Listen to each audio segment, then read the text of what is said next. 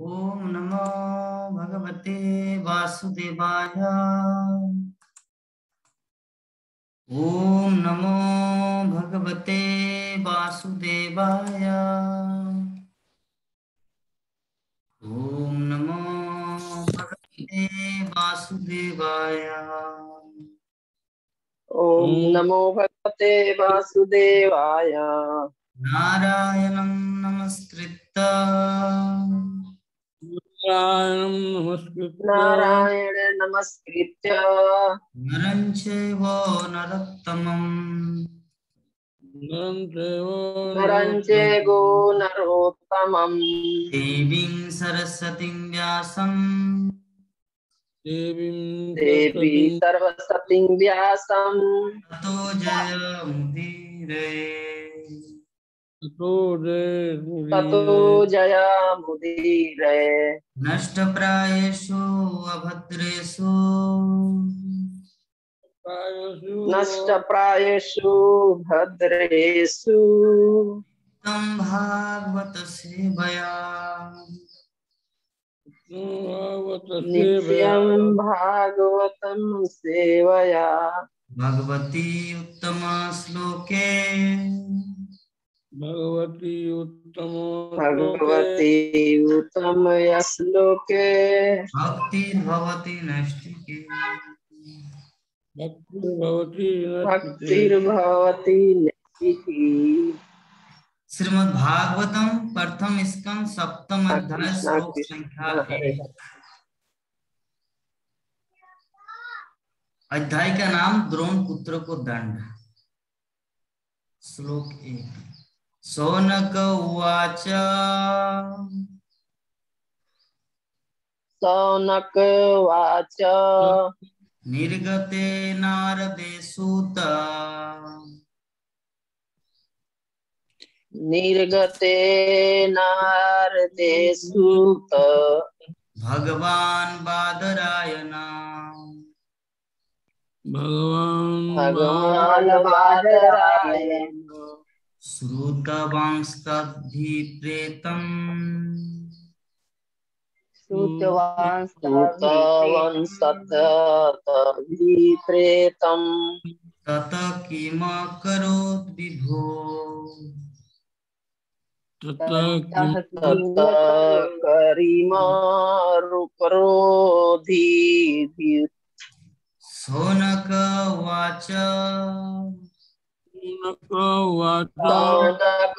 Watch निर्गते नारदे सुत। निर्गते नारदे सूत। भगवान बादरायण। भगवान् बादरायण। श्रुतवंस्तदभिप्रेतम्।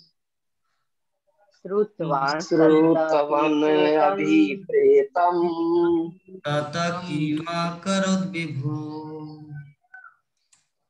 तत किमकरोत् विभो तया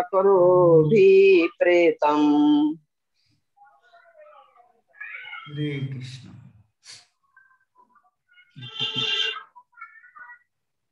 सौनक वाच।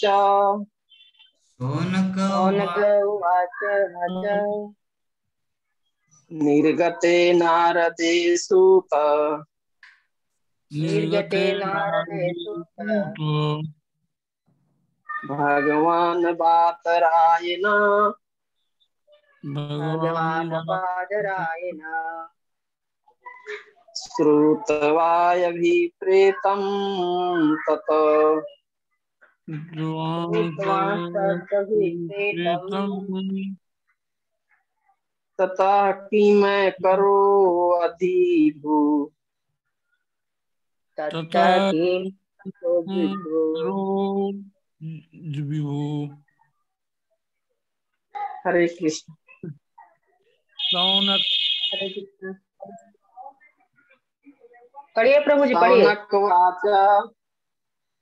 निर्गते नारदे सुत।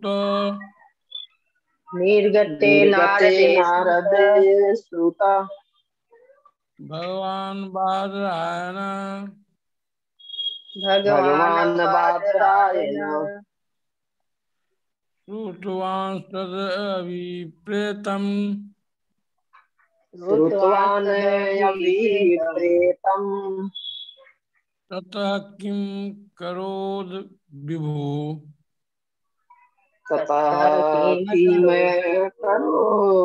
अकरोत विभु? हरे कृष्ण। सौनक उवाच। सौनक उवाच। निर्गते नारदे सुत। निर्गते नारद। निर्गते नारदे सुत। भगवान् बादरायण भगवान् भगवान् बादरायण उक्तवास्तदभिप्रीतम् श्रुतवांस्तदभि श्रुतवान् तदभिप्रेतम् तत्तः किम करोद् विभो ततः किम ततः किं अकरोत विभु हरे कृष्ण। अनुवाद और तात्पर्य पढ़िए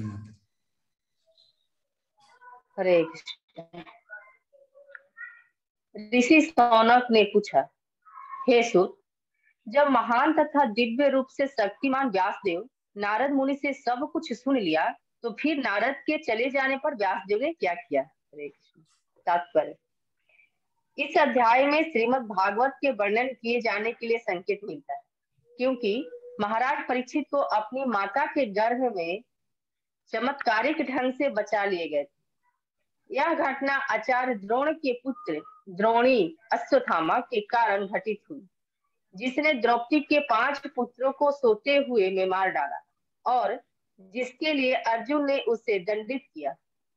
इस महापुराण श्रीमद् भागवत का शुभारंभ करने के पूर्व श्री व्यास देव ने समाधि द्वारा सारे सत्य की अनुभूति प्राप्त की। हम्म। तो आज का जो प्रश्न है, सोनक मतलब क्या है? सोनक मतलब नेमिसारण्य के अठासी हज़ार ऋषि मुनि, उसको कहा जाता है सोनक। उनमें से एक हेड तो सोनक ऋषि ने किसको पूछा? सुद गोस्वामी को। सुद गोस्वामी को क्या पूछे? कि नारद मुनि के इंस्ट्रक्शन सुनने के बाद या नारद मुनि के चले जाने के बाद व्यासदेव ने क्या किया? तो जिसको पढ़ने के बाद हमारे विवाह माता जी बहुत ही प्रसन्न है। तो चलिए हम लोग थोड़ा सा ओवरव्यू ले लेते हैं। कल हम लोग क्या डिस्कस किए? कल कहाँ पर खत्म किए? कल के क्लास को। हम्म, तो सबसे पहले आ, हमारे विवाह माता जी बोलेंगे और बाकी भक्तगण अगर कुछ पॉइंट जो विवाह माता जी मिस आउट करके मतलब नहीं बोल पाएँगे उसको वो लोग बोलेंगे। इधर नंदा किशोरी माता जी या प्राण मोहन प्रभु जी हरे कृष्ण। हरे कृष्णा प्रभु जी वो पढ़ने के बाद इसलिए हंसना आया ना कि अब भागवतम की रचना करने के लिए वेद व्यास जी तैयार हो जाएँगे, इसलिए इतना दिन से हम लोग उसी के लिए सुन रहे थे ना, इसलिए। ठीक है, हरे कृष्णा। तो कल तो हरे कृष्णा प्रभु जी, कल वेद व्यास जी को श्री नारद मुनि ने यही बताया कि किस प्रकार हमने आत्म साक्षात्कार करके सारे जीवन का रहस्य, पूर्व जन्म का दासी पुत्र से लेकर के सत्संग में आए हुए ऋषि मुनियों का अनुभव, सारा ही वेद व्यास जी हमने आपको बता दिया। तो इससे हमें ऐसा लगता है कि आपको तो आत्म संतोष तो हो ही गया होगा और ये आपको आगे चल करके बहुत लाभकारी होगा। तो आत्म संतोष के बारे में जैसे आपने बहुत अच्छे से समझा दिया कि संतोष तो संसारिक जगत की चीज़ों से हो जाती है, लेकिन आत्म संतोष जो है ना, वो आध्यात्मिक जगत में ही होगा। तो आत्म संतोष जैसे कि आत्मा को संतोष देना आत्म संतोष तो आत्मा का संतोष तो परमात्मा को प्रसन्न करके ही होगा, ऐसे तो नहीं होता है। जैसे कि पुष्प का उदाहरण से हम लोगों ने समझा कि भगवान को यदि किसी पुष्प को अर्पित करते हैं तो वो हमारा आध्यात्मिक तौर पर आत्म संतोष की श्रेणी में आता है। तो इसमें तो छत्तीस नंबर श्लोक में नारद मुनि जो है, वेदव्यास जी को ही बता रहे हैं कि चतुर्मास में आए हुए मुनियों से जो हमने श्रवण किया, उसी श्रवण की कृपा से ही हमें इतना सुंदर सत्संग मिला, जो कि हम आज इतने अच्छे शुद्ध भक्तों की गिनती में आ रहे हैं। और श्रवण मात्र से ही जितने हमारे जीवन के जो भी कलमस जो कुछ भी था, वो धीरे धीरे नष्ट हुआ और वो आज हम भक्ति के इस चरम सीमा पर आ पहुँचे। तो इस प्रकार से चतुर्मास के आए हुए इसमें बोलते हैं, और उसके बाद बोलते हैं कि जब मेरी माँ की मृत्यु हुई तो हमने उसको भगवान का आशीर्वाद, प्रसाद समझ लिया। मुझे कोई दुख नहीं हुआ। क्योंकि भगवान का ये आशीर्वाद, शुद्ध भक्तों के जीवन में भगवान कष्ट भी देते हैं तो उनको आशीर्वाद, कृपा समझ के करते हैं कि स्वीकार कर लेते हैं, उससे दुखी नहीं होते हैं। जैसे ही माँ की मृत्यु का समाचार नारद जी सुने तो वो प्रसन्न हो गए। और वो अपना भक्ति के लिए ठीक उसके विपरीत दिशा में पहुँच गए और भगवान की भक्ति के लिए साधना में अपने लग गए। उसी साधना के दौरान भगवान का क्षणिक मात्र उनके हृदय पटल में भगवान का दर्शन हुआ। उसी समय आकाशवाणी हुआ। जब नारद मुनि आँख खोले भगवान का दर्शन नहीं पाए तो उन्हें आकाशवाणी हुआ कि इस जन्म में आप नहीं देख सकते हो। अगले जन्म में हमारे पुण्य दर्शन कर पाओगे, क्योंकि अभी भी आपके मन में कुछ थोड़ी त्रुटियाँ रह गई है, जो कि पूर्व जन्म के बाद आप अगले जन्म जब लेंगे, उसमें हमारा पूर्ण दर्शन आप कर पाएँगे। तो वही इस जन्म में भगवान जो नारद मुनि जो अपना, जो अगला जन्म लेते हैं, उसमें भगवान का साक्षात्कार करते हैं। तो इस प्रकार से भगवान नारद मुनि अपना जन्म के बारे में बताते हैं कि कैसे जन्म हुआ। फिर उसके बाद में बताते हैं सैतीस नंबर श्लोक में बता रहे हैं कि स्वतंत्रता, हर जीव जन्म से ही स्वतंत्र होता है। हर जीव जन्म से ही स्वतंत्र, उसे स्वतंत्रता के लिए कुछ करना नहीं पड़ता है। परंतु अब स्वतंत्रता किस क्षेत्र में चाहिए? हमें भक्ति के जीव, जीवन में स्वतंत्र होना चाहिए। वो स्वतंत्रता बता रहे हैं कि गुरु के चरणों में मिल सकता है। स्वतंत्र भक्ति के जीवन में गुरु की स्वतंत्रता चरण में मिल सकता है। तो बोल रहे हैं कि, हे व्यास वेद व्यास जी इस प्रकार से स्वतंत्र रह करके हमने भगवान की सेवा अर्चना की और अड़तीस नंबर श्लोक में बता रहे हैं, नारद मुनि बता रहे हैं, अड़तीस नंबर इस भक्ति के बल पर ही नारद मुनि ने बीड़ा बजाते हुए हर जगह, हर समय, किसी भी समय प्रकट होते हैं और भगवान के नामों का गुणगान करते हैं। और जो भी दिन दुखे हैं, जो भगवान से अलग है, भगवान से संबंध नहीं जोड़ पाते हैं। वैसे भक्तों को हरि नाम सुना करके उनका काम होता है कि भगवान से उनका संबंध को स्थापित करें और भगवान के धाम को उनको पहुंचाएँ। तो हमारा परम कर्तव्य भी यही होता है कि सारी कार्यों को करते हुए भी भगवान से संबंध जोड़े और हमारा जीवन का उद्देश्य भी है परम धाम भगवान के धाम को प्राप्त करना। तो जिस प्रकार से नारद जी अपने बीणा बजाते हुए गायन करते हैं तो उस प्रकार से हमें भी हर कार्य को करते हुए भगवान की नाम को इस शरीर रूपी बीणा से गायन करते हुए हर कार्य को करना चाहिए और भगवान से कोई भी संबंध स्थापित करते हुए, हर काम को करते हुए भगवान को अपने आप को समर्पित करना चाहिए। हरे कृष्णा प्रभु जी दंडवत प्रणाम। बहुत सुंदर माता जी तो नंद किशोरी माता जी और प्राणमोहन प्रभु जी कल की क्लास में तो बहुत कुछ आलोचना हुआ था हमारा तो विवाह माता जी कुछ प्रकाश डाले। तो उनमें से जो चीज़ वो माता जी वर्णन नहीं किए वो चीज़ बोल सकते हैं।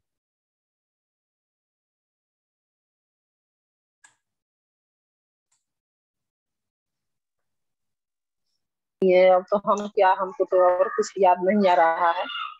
माता जी जो है सो बोल दी हैं। हाँ। और और क्या हम बोले सुने हैं?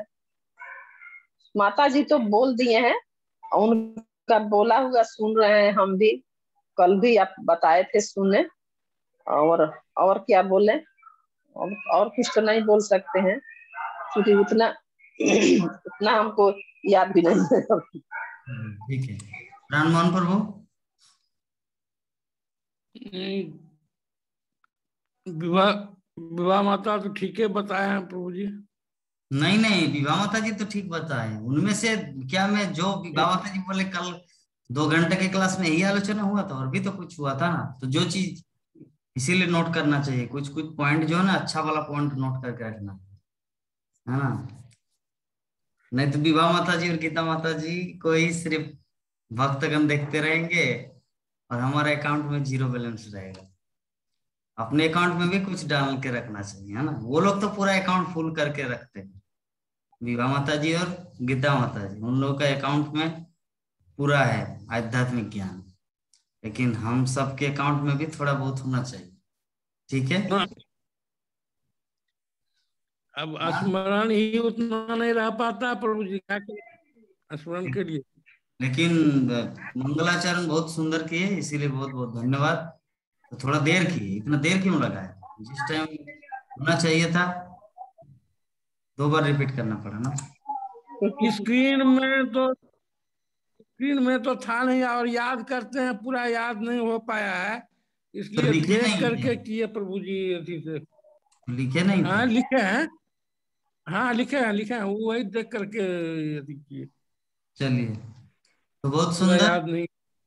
तो आज का हमारा जो चैप्टर है आज का जो हमारा अध्याय शुरू हो रहा है कि भागवतम की प्रेरणा प्राप्त किए जैसे किसी को बोलते हैं ना अरे मुझे तो जस्ट ऑर्डर चाहिए। फिर देखते कमाल क्या होता है। तो ऑर्डर मिल गया नारद मुनि का, अभी व्यासदेव अपना कमाल दिखा अच्छा प्राण मोहन प्रभु जी, आपके वो जो पंखे के ऊपर क्या लटक रहा है, मुझे तो डर लग रहा है देख के काला काला।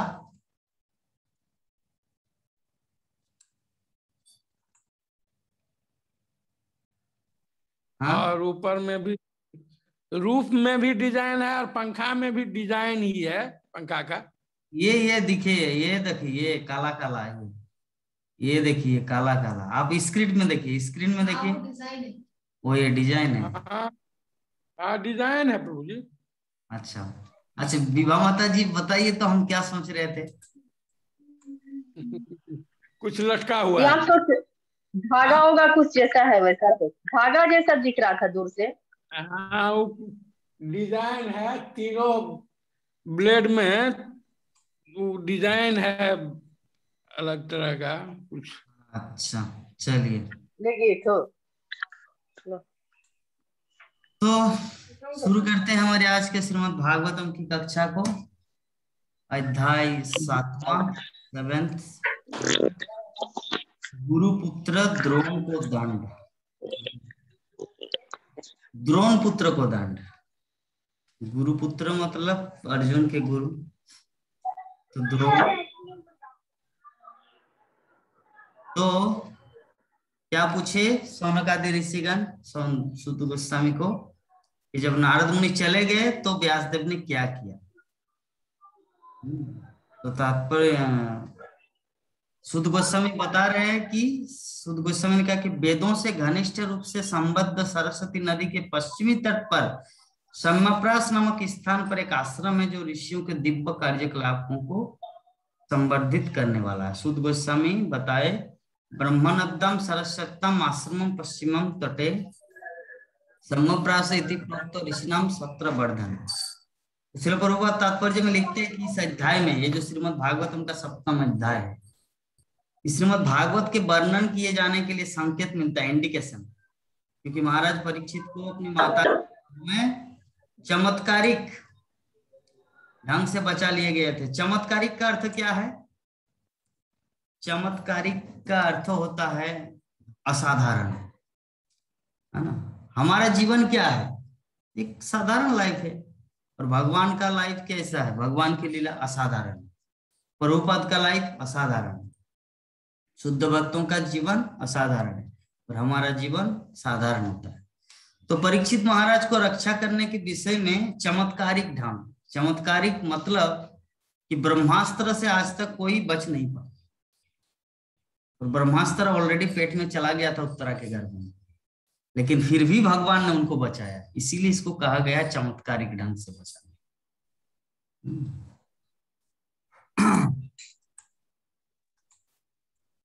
तो यह घटना आचार्य द्रोण के पुत्र द्रोणी असस्तमा के कारण घटित हुई, जिसने द्रौपदी के पाँच पुत्रों को सोते हुए में मार डाला और जिसके लिए अर्जुन ने उसे दंडित किया। इस महापुराण भागवतम का शुभारंभ करने के पूर्व शिल व्यासदेव ने समाधि द्वारा सारे सत्य की अनुभूति प्राप्त कर ली। पहले ध्यान से देख लिया कि एक्चुअली घटना क्या हुआ। जिससे जब भगवान रामचंद्र और लक्ष्मण सीता के लिए वन में भटक रहे थे वन में विचरण कर रहे थे। तब सी देवी सती और शिव जी वो दोनों उधर से गुजर रहे थे। तो सोचा कि अरे ये तो भगवान नहीं हो सकता। भगवान हो, होने से थोड़ी किसी को बोलेंगे कि मेरी पत्नी किसने भगा के ले गया या कहाँ चली गई? हे सीते हे बोठान हे भाभी है ना? भगवान होने से तो ये सब नहीं करेंगे। ये देवी सती के मन में डाउट तो भगवान शिव बोले कि नहीं, ऐसा बात नहीं है देवी, भगवान अपनी लीला कर रहे नर लीला। ये सब जो माथा में आपका कंफ्यूजन है, इसको दूर कीजिए, अन्यथा आपका अपराध होगा। हम्म। तो सती बोली कि अरे नहीं, मुझे एक बार ट्राई तो करना है चेक करना है टेस्ट करना है सच में भगवान है? भगवान होने से तो थोड़ा सा अपना इंटरनेट खोल के देख लेंगे कहाँ पर मैं सर्चिंग लोकेशन बताया गया कि पत्नी कहाँ है। लेकिन ये तो उतना भी ज्ञान नहीं है। तो बोले कि ठीक है, अगर आप टेस्टिंग लेना चाहेंगे तो आप खुद अकेला टेस्ट लीजिए, मैं तो चला। तो भगवान शिव बट वृक्ष की ओर चले गए, जहाँ पे कैलाश पे रहते थे। और देवी सती माँ सीता का रूप धारण करके भगवान राम और लक्ष्मण के पास आए। तो लक्ष्मण और भगवान राम के पास जैसे आए। आवाज़ आ रही क्लियर माता जी प्रभु जी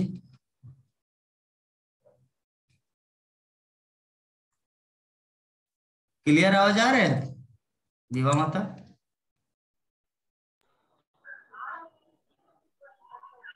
अरे ना? ठीक है।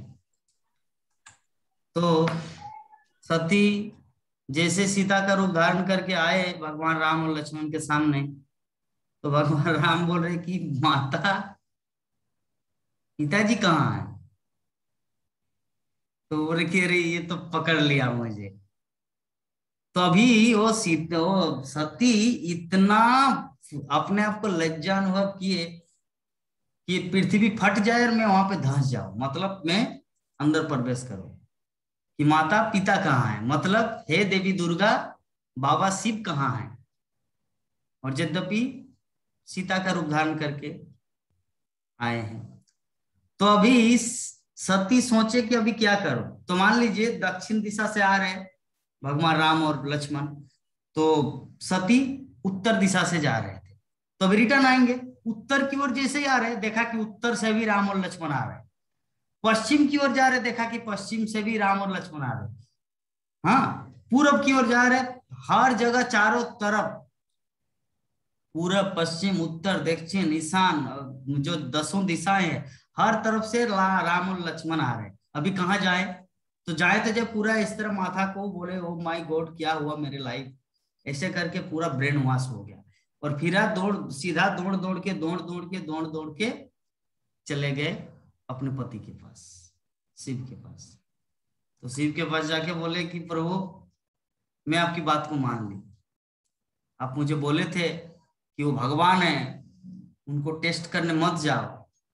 मैं सच में आपकी पतिव्रता नारी हूँ मतलब आपकी धर्म पत्नी हूँ।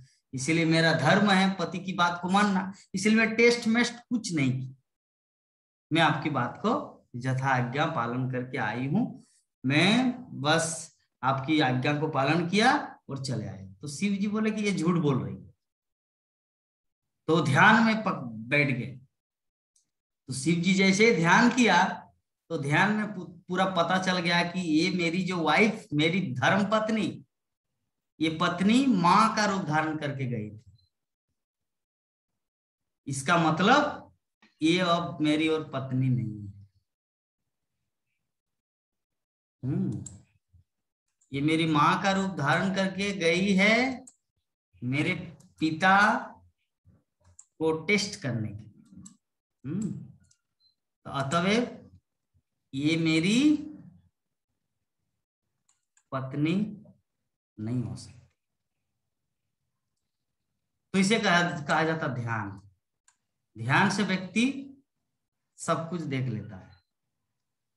तो व्यासदेव उसी प्रकार यहाँ पे सम्मपार नामक स्थान में ये सब ध्यान से देखा कि किस प्रकार द्रौपदी के पाँच पांडवों को अशस्थमा ने मारा, फिर कैसे क्या हुआ, फिर क्या पूरा महाभारत की घटना को व्यासदेव ने देखा। उसके आगे क्या हो रहा है, वो हम लोग थोड़ा जाने हाँ। सुध गोस्वामी जैसे ही ऋषि मुनि, ये ऋषिगण जैसे प्रश्न किए हम्म तो सुध गोस्वामी ने उत्तर दिया। ये जो सम्मप्रास नामक स्थान है बद्री के आश्रम में, जो ऋषियों के दिव्य कार्यकलापों को संवर्धित करने वाला है। हम्म। तात्पर्य को पढ़िए तो माता जी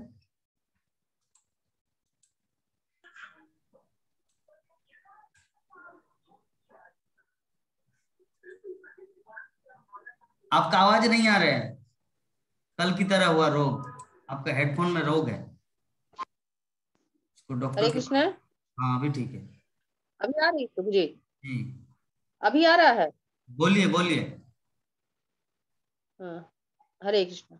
ज्ञान के आध्यात्मिक विकास के लिए उपयुक्त स्थान तथा वातावरण की नितांत आवश्यकता होती है। सरस्वती नदी के पश्चिमी तट का स्थान इस कार्य के लिए विशेष उपयुक्त है। और वहीं पर साम्य प्रास में व्यास देव का आश्रम है। श्री व्यासदेव गृहस्थ थे तो भी उनका निवास स्थान आश्रम कहलाता है। आश्रम का वह स्थान है जहाँ आध्यात्मिक कार्यकलाप सर्वोपरि होता है। फिर चाहे वह स्थान किसी गृहस्थ का हो या तपस्वी का। संपूर्ण वन आश्रम पद्धति इस प्रकार नियोजित है कि जीवन की प्रत्येक अवस्था आश्रम कहलाती है। इसका अर्थ यह हुआ कि इन सबों का आध्यात्मिक संस्कृति एक सामान्य लक्षण है। ब्रह्मचारी, गृहस्थ, वानप्रस्थ तथा सन्यासी सारे एक ही जीवन लक्ष्य अर्थात परमेश्वर के साक्षात्कार से संबंधित है। अतएव, जहाँ तक आध्यात्मिक संस्कृति की बात है, इनमें से कोई कम महत्वपूर्ण नहीं है। अंतर तो केवल वैराग्य के आधार पर औपचारिकता का होता है। सन्यासी अपने व्यवहारिक वैराग्य के बल पर ही समान हित की दृष्टि से देखे जाते हैं। हरे कृष्ण। हम्म। सन्यासी अपने व्यवहारिक वैराग्य के बल पर ही सम्मान की दृष्टि से देखे जाते हैं। इसमें, इसका अर्थ क्या है? इसका अर्थ यही है कि व्यक्ति के अंदर कितना वैराग्य है। रावण भी तो सन्यासी का रूप धारण करके आए सीता को हड़पने के लिए। तो क्या उसको सन्यासी माना गया? नहीं। तो सन्यासी सिर्फ़ ड्रेस से नहीं होता है, यहाँ पे सिर्फ़ प्रभुपात बोलना चाह रहे सन्यासी होता है, उनके वैराग्य क्या है? कितना त्याग है। कितना त्याग है अपने जीवन में, उसी के आधार पर सन्यास का मापदंड मापा जाता है। तो यहाँ पे आश्रम शब्द जो आया है कि गृहस्थ थे व्यासदेव। लेकिन शिल प्रभुपाद बोलते कि उनको भी आस, फिर भी गृहस्थ थे, लेकिन फिर भी यहाँ पर सुध गोस्वामी आश्रम की उपाधि दी है। तो चाहे कोई गृहस्थ हो, चाहे कोई वानप्रस्थ हो, चाहे कोई सन्यासी हो, चाहे कोई ब्रह्मचारी हो, आश्रम जो भी अल्टीमेटली कृष्ण भक्ति करने के उद्देश्य से जो भी आश्रम अपने जीवन को उसी रूल में, उसी नियम आधार में डालता है, उसी को आश्रम कहा जाता है। और अल्टीमेटली शिल प्रभुपाद पॉइंट आउट किए है कि व्यक्ति की संन्यास जो है ना, संन्यास की परिधि या वास्तविक संन्यास वही है जिसका जितना ज़्यादा वैराग्य। हाँ उस दिन एक उदाहरण दिया था कुछ दिन पहले एक ब्राह्मण था और एक बेस्सा थी प्रोस्टिट्यूट तो ब्राह्मण का घर ब्राह्मण सब समय वेद पाठ करते थे। इस तरह सब समय शास्त्रों को पाठ करते रहते थे। तो उसके घर से बेस्सा का घर सीधा नज़रों में मिलता है। बेस्सा का घर है, ब्राह्मण के घर से दिखाई देता है। और बेस्सा का घर है, ब्राह्मण को दिखाई देता है। दोनों का आदान प्रदान।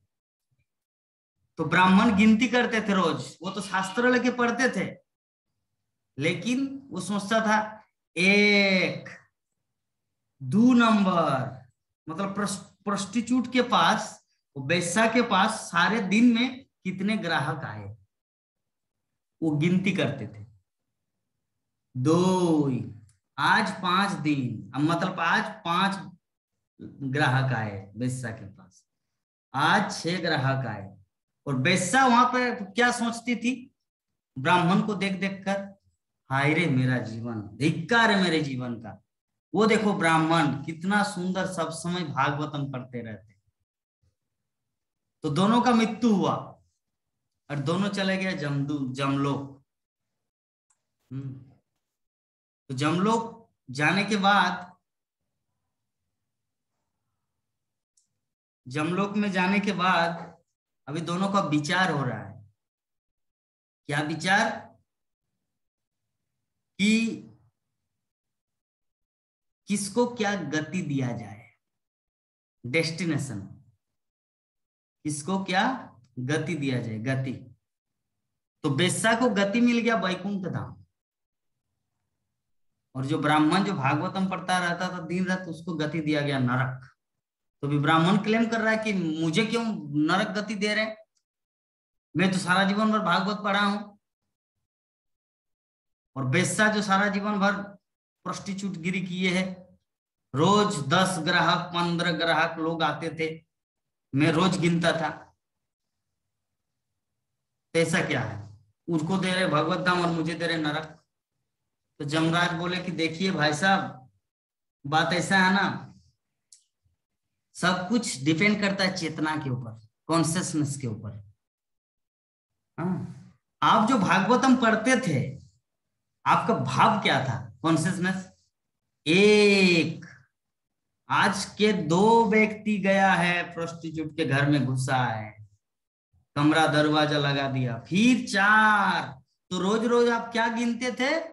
आपकी चेतना कहाँ पर थी? प्रोस्टिट्यूट के घर में। और प्रोस्टिट्यूट जब भी फ्री रहता था, आपकी तरफ़ देखते थे और क्या सोचते थे? हाईरे इतना सुंदर भागवतम पाठ कर रहे हैं ये ब्राह्मण। मेरा ही जीवन व्यर्थ चला गया कि मैं प्रोस्टिट्यूट बन गया। वैसा हम्म मैं भागवतम जीवन में पढ़ नहीं पाया। लेकिन वो सब समय सोचता था श्रीमद भागवतम तो जरा देखिए व्यक्ति किस परिवेश में है, कहाँ पर है मतलब ये जो आश्रम की बात है ना, चाहे गृहस्थ आश्रम में हो या ब्रह्मचारी आश्रम में हो, व्यक्ति का कॉन्सियसनेस उनका चेतना जहाँ पर है, व्यक्ति वहीं पर है। तो भागवत हमको साथ में लेकर रहते थे, लेकिन फिर भी उसको नरक जाना पड़ा अरे वो प्रोस्टिट्यूट किए है, सारा जीवन भर, लेकिन फिर भी वो चलेगा वैकुंठ क्यों? क्योंकि उनकी चेतना थी। श्रीमद भागवतम के ऊपर। और तीन दिन पहले और एक उदाहरण दिया जाए गीता माता जी के प्रश्न के उत्तर में एक मोची था और एक ब्राह्मण था। मोची चला गया भगवत धाम और ब्राह्मण कब आएँगे भगवत धाम कोई गारंटी नहीं। नंदा किशोर माता जी याद आ रहे हैं ना? रिमेम्बर हाँ। याद है? हाँ। तो वो बरगद के पेड़ के उदाहरण के माध्यम से नारद मुनि को समझा दिया कि भगवान कुछ भी कर सकता है।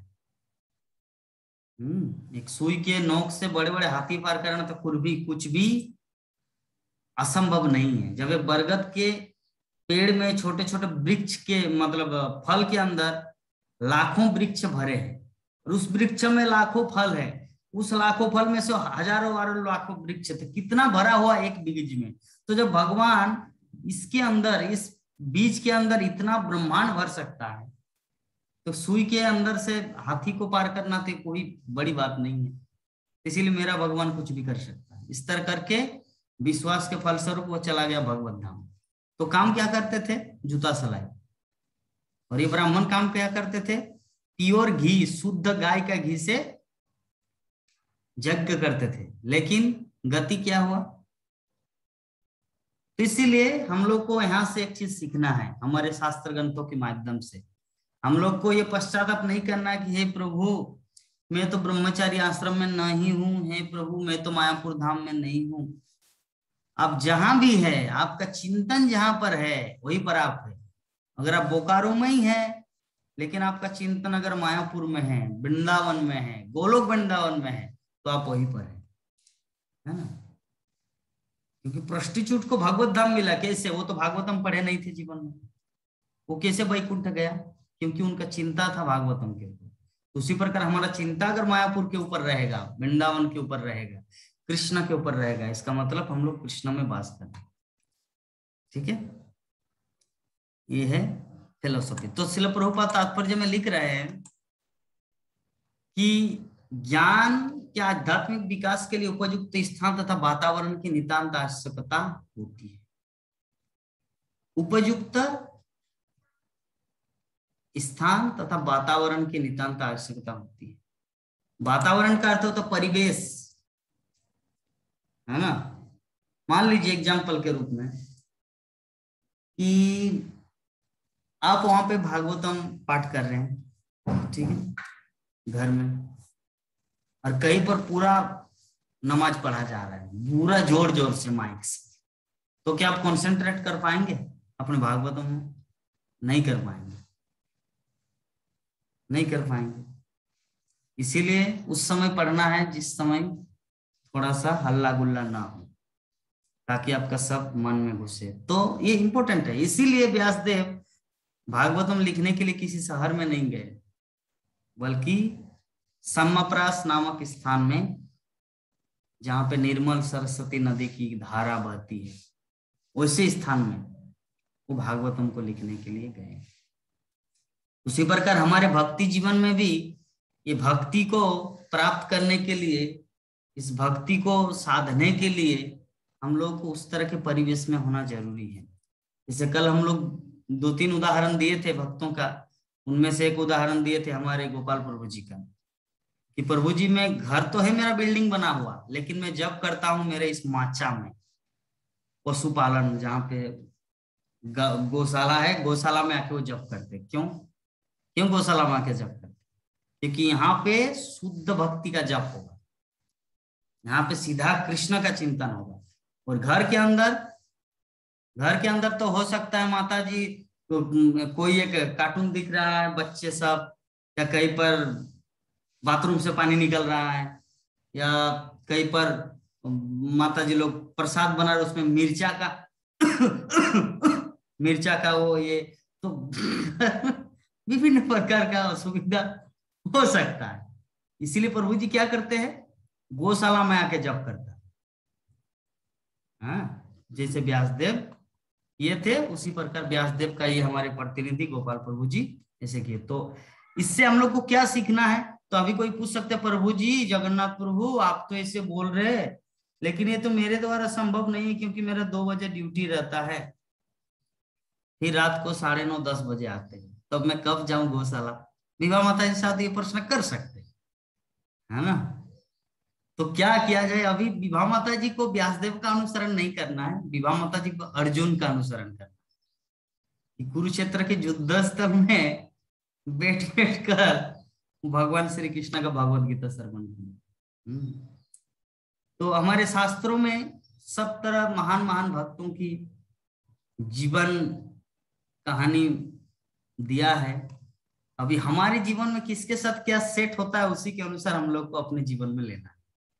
कभी अर्जुन को लेना है तो कभी व्यासदेव को लेना है तो कभी परीक्षित महाराज को लेना है तो कभी ध्रुव महाराज को लेना है कभी प्रहलाद महाराज को लेना है तो कभी युधिष्ठिर महाराज को लेना है, कभी उद्धव को लेना है तो कभी गोपियों को लेना है, कभी हनुमान को लेना है तो कभी अक्रूर को ले, इस प्रकार श्रीमद भागवतम में, हमारे वैदिक ग्रंथों में भगवान के महान महान भक्तों की अलग अलग लीलाएँ हैं। सब एग्ज़ाम्पल दिया जा सकता है हरिदास ठाकुर का। हरिदास ठाकुर जब कर रहे थे, एक ऐसे परिवेश में। तो वहाँ पे साक्षात माया देवी उनको आए। माया देवी आने के बाद क्या हरिदास ठाकुर बोले, हे महाप्रभु, हे कृष्णा, मैं आपका जप कर रहा हूँ। अब क्यों मुझे इस तरह डिस्टर्ब करने के लिए सुंदर सुंदर लड़कियों को भेजते हैं? ये तो अच्छा नहीं है। मैं आपका भक्ति छोड़ दूँगा चलो, क्या हरिदास ठाकुर ऐसे किए? नहीं किए। बल्कि परिस्थितियों का मुकाबला किए। तो उसी प्रकार हम सभी भक्तों को अपने अपने परिवेश में जो जिस भाव से भक्ति करता है उनको उन, उन्हीं परिवेश में से उसको सफल होना है। हाँ हम लोग जैसे हम गोपाल प्रभु जी का उदाहरण दिया कि व्यासदेव के साथ सेट हो रहा है लेकिन विवाह माता जी का सेट नहीं होगा। है ना उसको काम दो बजे से लेकर रात दस बजे तक ड्यूटी निभाना ही पड़ेगा। तो उस समय बोलेंगे प्रभु जी कब मुक्त होंगे? मैं ये नौकरी छोड़ दूँगी। नहीं। नौकरी छोड़ू, तब तो अर्जुन की तरह हाल होगा। अर्जुन क्या बोले कि मैं भीख मांग के जीवन निर्वाह करूँगा, मैं युद्ध नहीं करूँगा। तो कृष्णा बोले कि तुम नपुंग सको। अपनी क्षमता रहते हुए भिकारी की तरह भीख मांगोगे। नहीं, तुमको युद्ध करना है। तो जिसका जो